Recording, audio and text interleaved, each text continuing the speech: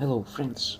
Uh, last September, by the mercy of God, I was blessed to visit the place of martyrdom of Apostle Paul in Rome.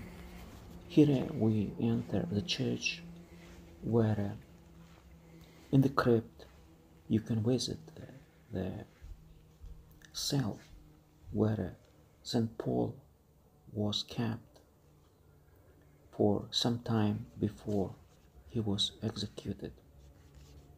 There is a church about that place.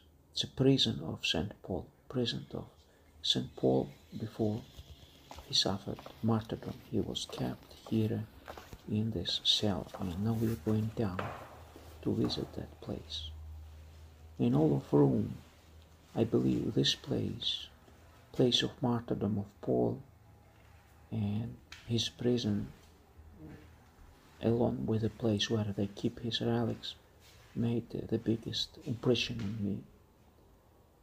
Uh, besides St. Paul the Apostle, here in Rome, here in this place, uh, some soldiers had been executed for Christ's name. They suffered for Christ, Zenon and his company. And they had been also buried here next to the prison of St. Paul. Christian martyrs, soldiers, Zenon and his company. So people write notes here, pray. It's very special place to visit. I highly, highly recommend this to you to visit it. Uh, the place is called um, uh, St. Paul at Three Fountains, and to get there, you need to have a car. It's very hard to get there by public transport. Uh, Rome is a very big city. You have to plan the trip well. Uh, I rented car at the airport and we drove uh, to specific Christian pilgrimage places. There are really many of them. You need to book, you need to plan this trip well. And now we proceed to the place where Paul had been executed and suffered martyrdom. The church of at St. Paul at Three Fountains.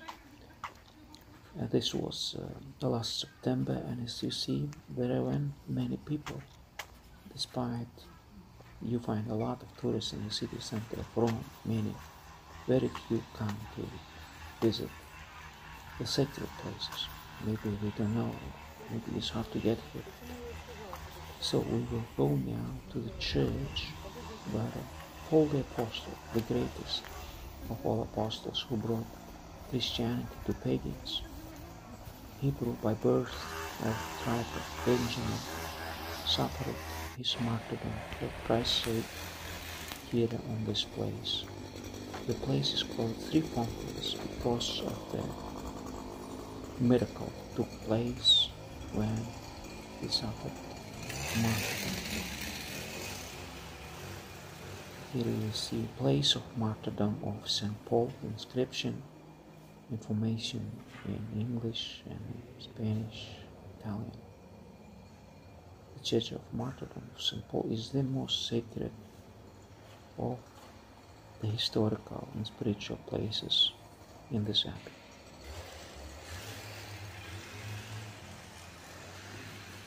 So here you see in the corner the place where he had been executed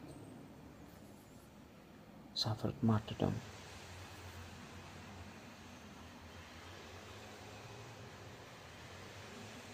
Here is the column, and when his head fell down at three places where it fell, miraculously, in miraculous way, water came up, springs, and three springs, three fountains, and you could.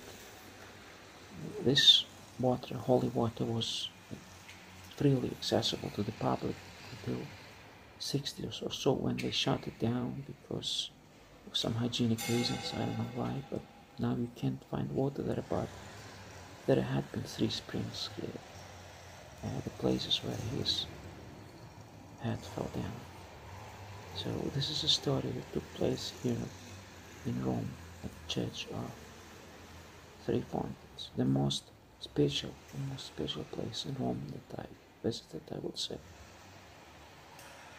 So, if you're a Christian, I highly recommend you to go to Rome to visit this place and to be blessed by St. Paul himself because his presence is there where he suffered the martyrdom in a special way. It will be a great spiritual benefit for you in the future. Be well. God bless you.